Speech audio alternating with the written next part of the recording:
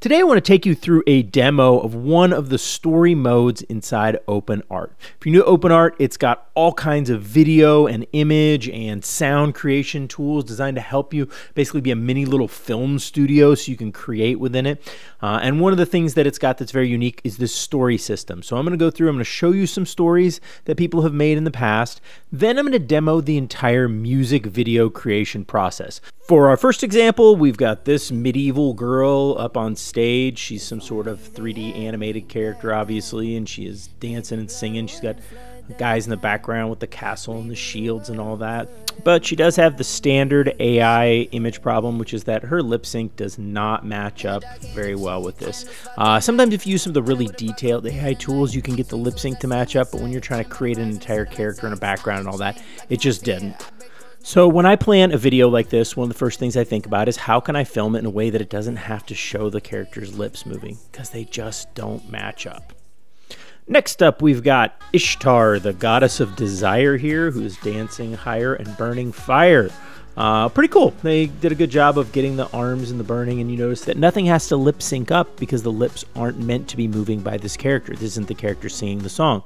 Next up, we got this one, and same thing. Her lip sync isn't matching up at all. It's not really very close to the words, so be careful this. But I do have to say, I actually really like this song, so I'm going to use it as the song in my music video that I demo here. In case you haven't heard yet, OpenArt has a contest going on right now for the next few weeks where anybody can create a music video on their platform and submit it for a whole bunch of different categories and a whole bunch of different awards. I think like $60,000 worth of awards all total. So I'm going to make my submission on the video here and teach you my entire process and let you walk through it with me. In exchange for this, I'd really appreciate it if you click the like and subscribe button. It helps me know what kind of content you like and therefore what kind of content I should make. But before we start doing that, I do want to show you this one last video. This is one where, once again, I think they did a good job with it. This was smart. They put a motorcycle helmet on their character so you can't see their face in any of the shots. So you can have all the music and the imagery and the feelings that you want to create with it, but you don't ever have to worry about the lip syncing being off. I'm going to head up here to create our video, and it gives me four options here. A singing video, which is what I do not recommend. It usually screws those up, a narrative video, which is what we're actually going to do, a visualizer video, which is just images that are moving to the vibes of the music, and then a lyrics video, and that one doesn't take a whole lot of creativity, it's just kind of words on the screen. So we're going to go with the narrative, and the first thing it's going to ask us to do is pick a song. So we could upload something if we had it ourselves, but I want to use one of the recommended ones from the contest, and I like this Jenny Ortega one that I saw over here. I think that'll make a fun video. So I'm going to select that and then I have to pick my character down here. Now you can see I've got one character that I custom made that was for a previous video. The rest of these are kind of standard characters that have been given to you inside OpenArt. Uh, there is a process of uploading a bunch of different pictures if you ever want to create your own character and it can be really useful because once you have that you can put that into these videos and it knows what that character looks like from different angles so if they turn and move things don't get all wonky and weird. I'm going to choose Lulu the giraffe as my main character. I'm going to allow my character to change outfits and I am going to set this to a one take style. That means that each clip will have a built-in transition already over to the next scene. Below that, I can set my aspect ratio, I can match the video to the beat, I can set captions for the video across it, and I can choose both the image and video model. Here you can see I have character, Flux Kontext, ChatGPT's model to make images from, but if you go down here to video model, it seems like you only have this Kling 2.1 Pro. Well, the reason it seems that way is because right now it's set on 1080p, and most AI video models have specific resolutions they work at. So if I go over here and change this to 720, now I get a whole bunch more options like Hailuo, which is one of my favorites, Seedance, Pixaverse, and you'll notice the prices to render will change since each model costs a different amount of credits. Kling 2.1 at 720p is 295 credits. Hailuo is 215 credits at 720p also. So this will add up when you start seeing an entire story put together, which is going to be a combination of, you know, 30, 40, 50 different video clips. 80 credits per clip is going to add up. Next, I needed a storyline. So I went to ChatGPT and asked it to create a storyline for a high energy global dance music video inspired by Gangnam Style. But it turns out that you can only have 500 characters in your storyline. So I had to go back and create a little bit of a shorter version and put that into here. Then I came down to the preview storyboard here, and I'm going to go ahead and preview this storyboard before I make it because it is 440 credits to preview it and over 5,000 to make it. And the process of creating my storyboard took about three minutes, but in the end, I got this. And you can see this is a list of the still images and the animation for each and every video clip that has to be put together to make this. So video clips generally are right around six seconds. So you can imagine that a two minute video is going to need 25, 30 of them. And this storyboard process is going to create a still image for each of them. Now you can see each of these still images has our main character Lulu in them, and that's because they're using prompts like medium close up in a dance studio with floor to ceiling windows showing a skyline. Lulu stands on polished wood flooring facing a wall of matte acoustic panels, no mirrors, wearing blank. Sunbeams cast warm stripes, colored tape marks on the floor, water bottle, and speaker in background. So that's what it's going to use to create an image. And then that image is going to be the basis for that video clip. So it's got most of my images rendered right now as I scroll through. I can re-render any if I want, if I don't like the way that it turned out, or I can go in and type into any of these boxes and modify the prompt and change the idea for the image and then create a new one there. And this is a good idea to do before you start creating the videos. I came across a few like this that seemed to be stuck, and no matter how long I waited, they never rendered. So I clicked that button up there, retry image, and you can see it created a second copy of that image that was being made there. And then I can pick either one of those to make my next video. And once I have all of the images rendered and I'm happy with them all, then it's time to go down here and generate the full story. You can see that's going to be about 5,000 credits. So you want to make sure you've got your images figured out and you like them before you click on that. Because once that starts, it's going to make videos for each and every one of these images and there's no stopping it. It's an automated process. So click that, 5,000 credits spent, and your story is on the way. It took about seven and a half minutes to generate that, but this is what I got.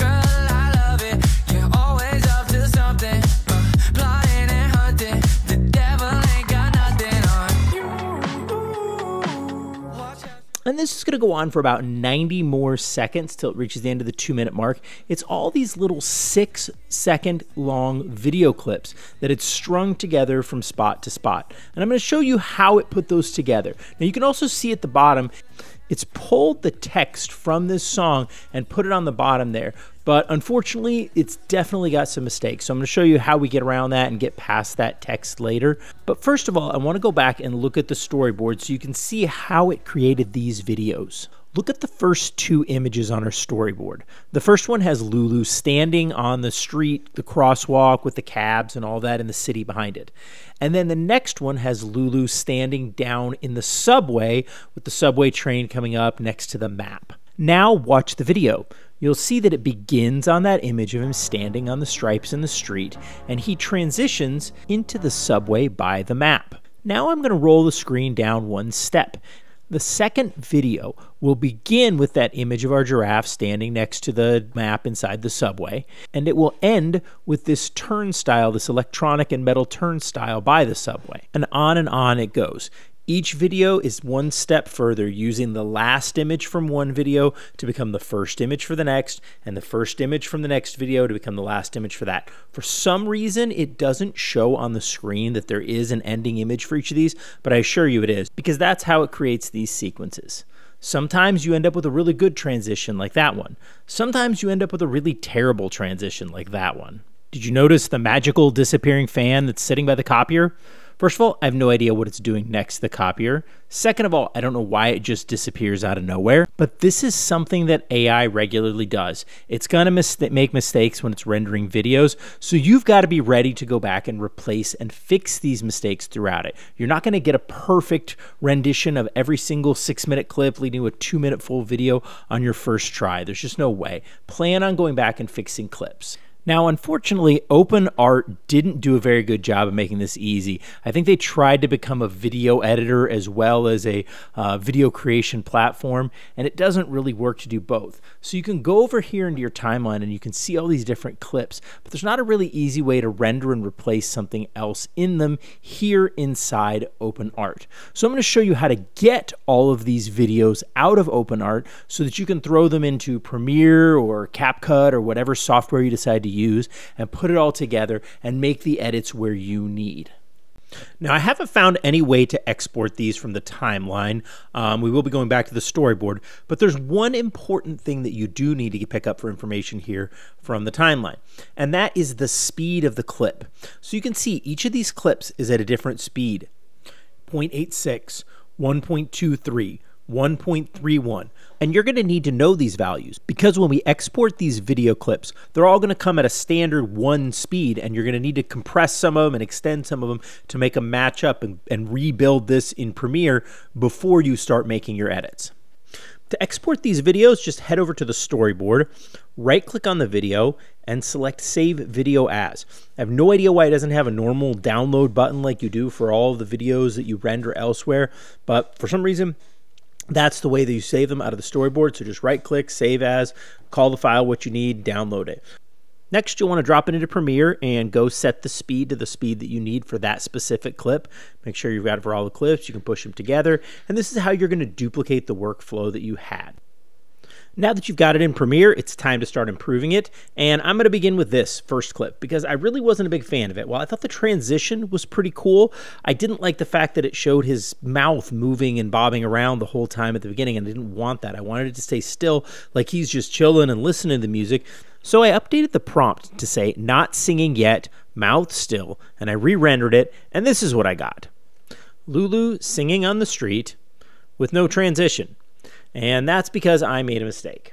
You can see there is a start frame for this, but no end frame. So I need to add an end frame onto this prompt. Click here, use first frame from next shot, and now when I render it, I'm going to get a transition over to that next image. Unfortunately, though, it didn't really listen to my commands very well. Uh, he continued to sing and move around, and then this transition is super weird, just running sideways. So, not a big fan of that one at all. This sideways run into the map just doesn't fit. And that's the most frustrating part about doing any work with AI video.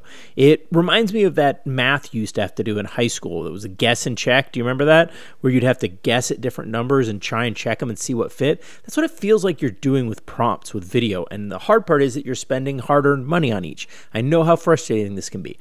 Obviously, the start and finish images are a big step, and the models keep getting better and better. But once again, I had to go back and try again and update my prompt and render it again just to try to get something that I really liked for the beginning. And this one didn't really seem any better either. He still is talking, he kind of runs through in a weird way. So far, the first one was really the best of all that I had. But at this point, I decided I needed to go about this a completely different way, and I wanted to try some different models to render these videos instead. So I went to the storyboard images and I right clicked on them and clicked to save image as and saved each of the start and finish images.